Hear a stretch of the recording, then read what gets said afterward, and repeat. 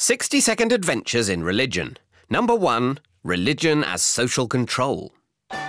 Karl Marx was a German philosopher, economist, and the least funny of the Marxists. In the snappily titled Contribution to the Critique of Hegel's Philosophy of Right, he famously called religion the opium of the people, in that religion was not only used by those in power to oppress the workers, but it also made them feel better about being oppressed when they couldn't afford real opium. He thought that if the comfort blanket of religion was taken away, at last the workers would have to do something about their terrible condition. In Marx's dream of a communist revolution, religion would be abolished and the workers would be so happy being equal, they simply wouldn't need it anymore.